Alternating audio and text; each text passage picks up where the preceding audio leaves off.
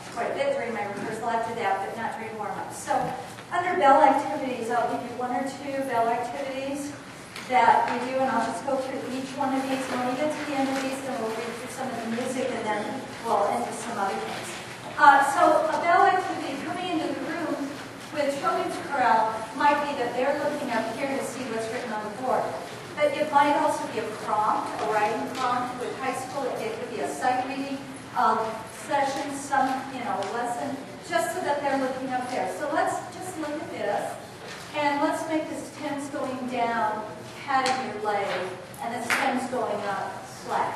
Okay, one, two, ready, and.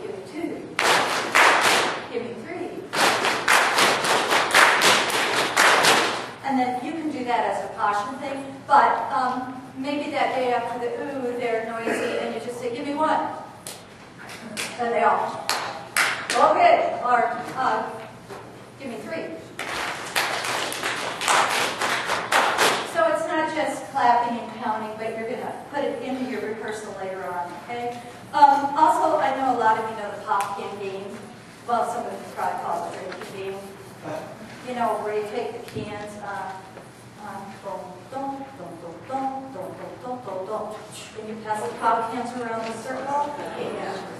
Yeah, the cup, oh, the cup game. There you go, or the cup game.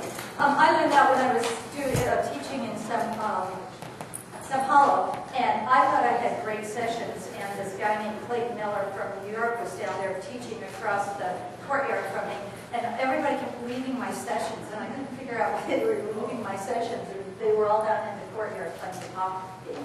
But you can write the rhythms for that up on the board, then go into the pop game.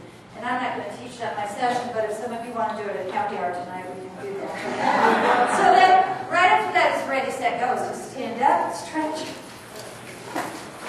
And mirror me, please. And I might be talking during this time. Way better, way better. And then I'll add a step touch really quickly. And I'm adding a couple elements at once. Okay, I'm not going to add all those elements at once. Let's just do one at a time. Okay, so we're swimming, and we're swimming, and we're swimming, and we're swimming. And now we're going to add the other elements. And remember that you never want them to always know what you're doing, okay? Movement is a musical element. You have to be using movement all the time.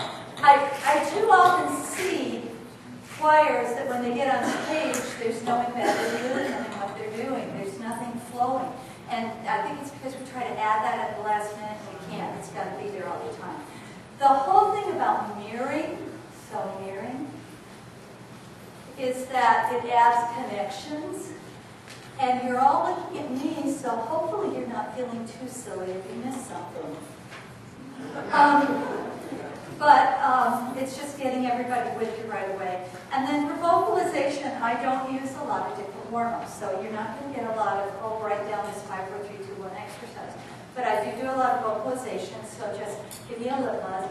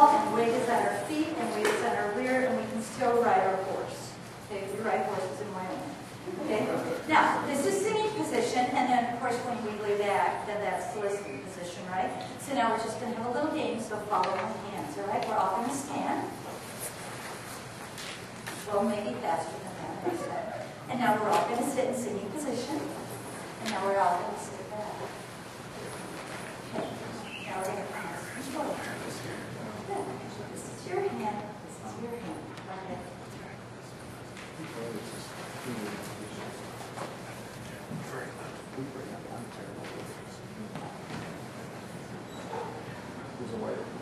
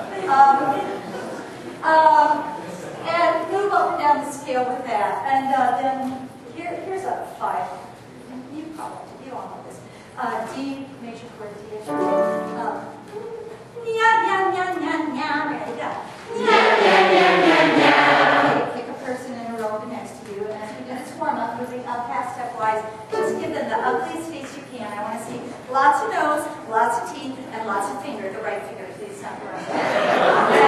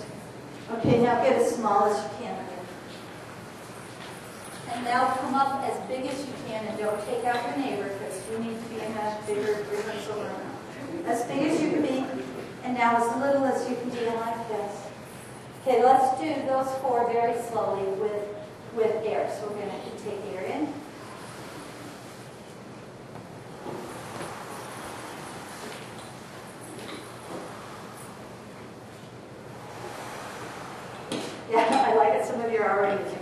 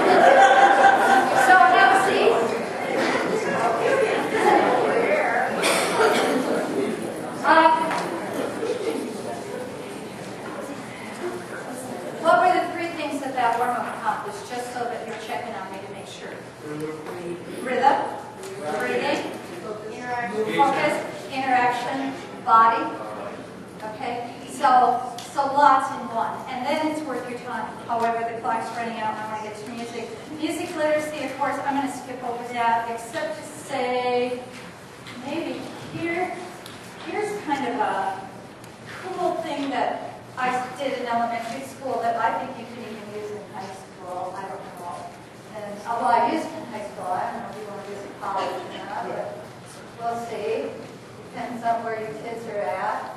Um,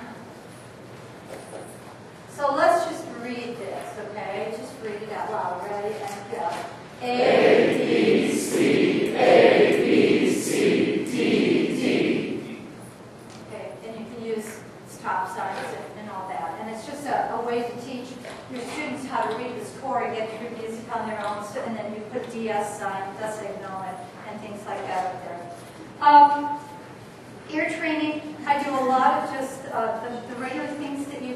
with the domiso and major to the minor to the diminished. Um, so just very quickly, um, back part of the room your do, middle part of the room your mi, you guys are so, and let's take a D4. Okay, okay so everybody, sing on ooh.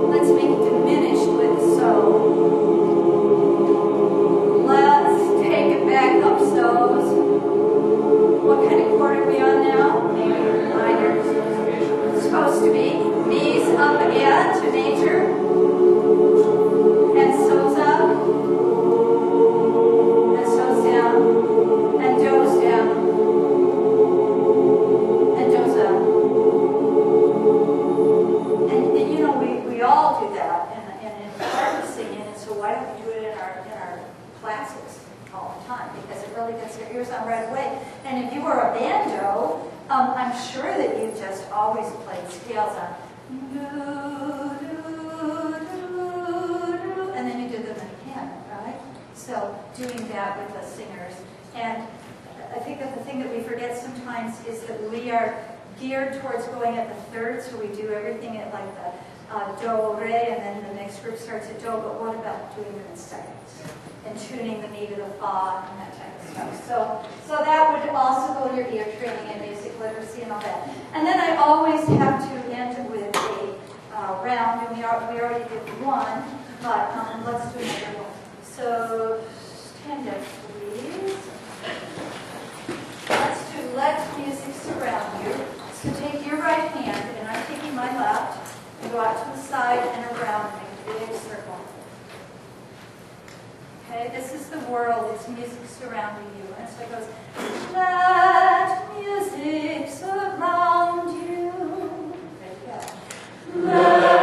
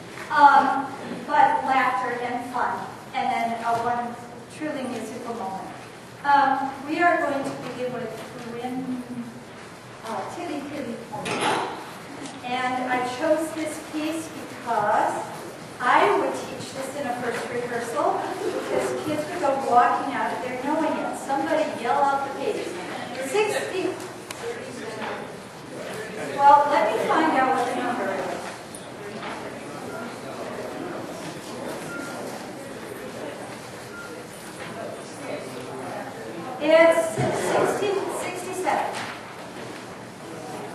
67, 69. Tilly Tomba. Tilly Tomba. And this is what we're going to do. We're going to be in three parts. Who's going to be part one? Raise your hand. We need more part one. We need a few more. Good. Who's going to be part two? Raise your hand. Good. Who's going to be part three? Stand up. Awesome. Okay. Part three. When we get over to page six, part three, you are now going to be part one. Part one, when we get over to page six, you are going to be part two. you guess which part you're going to get over to that? Okay. And um, you may, everybody may sit. Okay? So uh, we're just go titty titty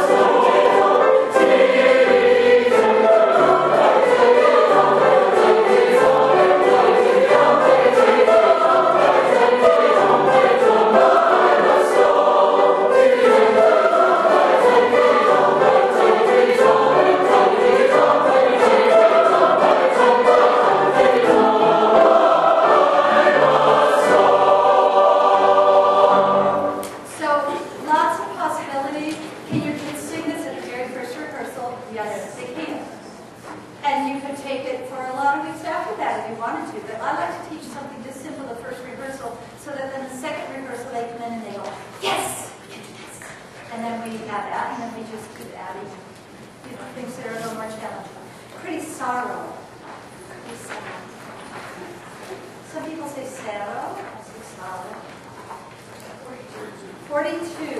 Um, I chose this one because it's a really good example of a piece that you could put ostinatos with. Um, um, it's also pretty easy to read. It's got nice phrases. Some of these things up here I use for phrasing. I really like the slinkies for phrasing. Um, I like the bands for phrasing so that there's going through, and you can buy this stuff for, you know, a couple bucks for a whole roll and then cut it up like uh, pieces. I bought 100 pieces like that. Uh, For phrasing, um, I'll play around with some of those things later. Th- These are for vowels, and in children's choir we have a big box with um, 80 of these. And with the women, my women's choir, I use those because they be a little compact. And so I say, all right, get out your mirrors. That vowel is not. And then they look right in the mirror. And we, we use it for vowels more than anything with the women. With kids, I use this a lot for facial expression. Because if they know that they're all looking in the mirror and nobody's looking at them, they will do all kinds of cool stuff. And even if it's off task stuff, if they're expressing, and they really like the mirrors. Um, I have to tell them to put them away, especially junior high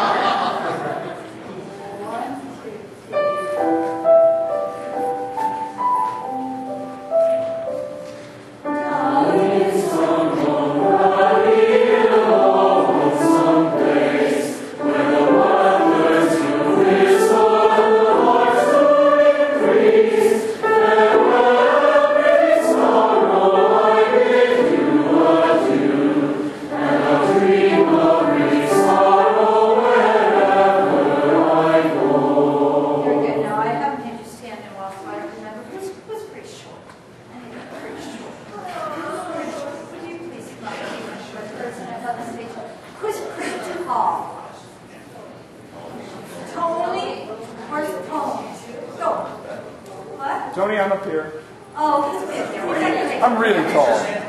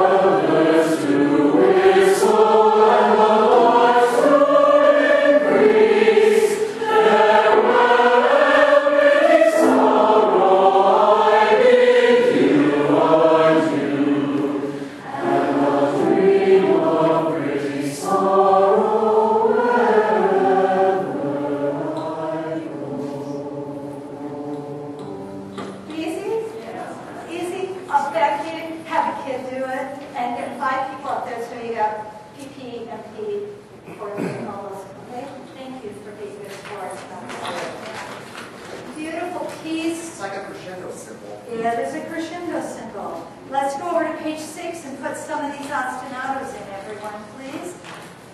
One, two, three, ready, go. Prima, pretty stars.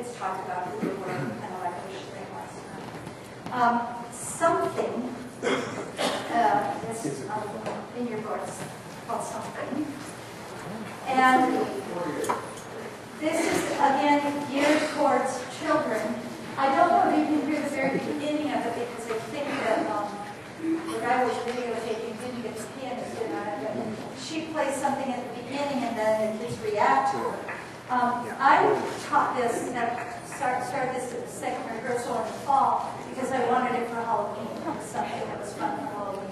But mostly because I wanted them to start expressing and working with each other. So I hope you see something. Something. And he also, some of the, he's nine.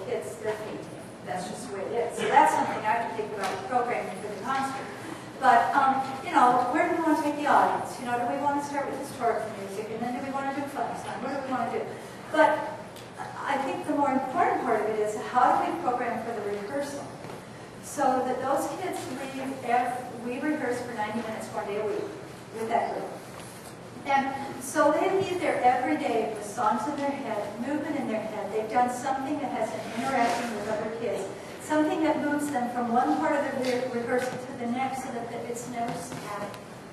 And we have to think about that when we're looking at the music we're getting. So um, something that's beautiful. Every rehearsal has to have a truly musical moment in it. Um, you know, we, uh, I, I hope to talk a little bit more about facial expression and things I do for movement. I'll try to do some of that in the next session. But you have to do it every day in rehearsal if they're going to do it up there. Um, so some of those songs I might perform once.